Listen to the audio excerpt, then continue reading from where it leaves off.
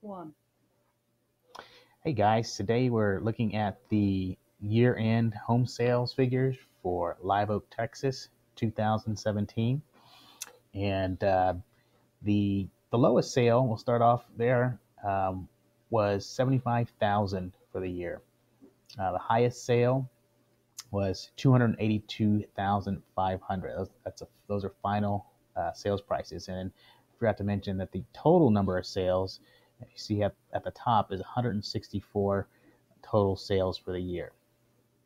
The average uh, came out at 174,539. Uh, that's for the entire city of Live Oak, Texas.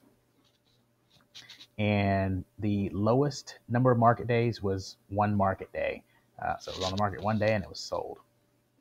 And then the highest number of market days was 367 market days.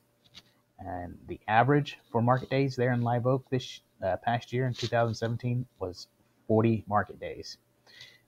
If you're looking for more detailed information, uh, I'm making that available to you below. Um, this time I'm not including the full sales sheet because the download was just too big and people aren't going to want to download something that big.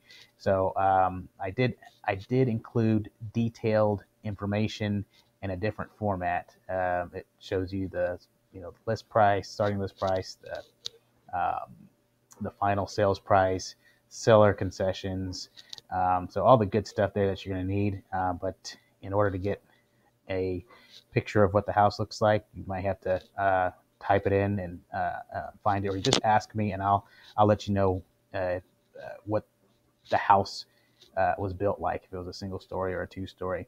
But um, you'll have a lot of information there, promise. So if you need that, just go ahead and download it right now and go over that. And if you have any questions, I'll be happy to answer. Thanks, and I'll see you on the next one.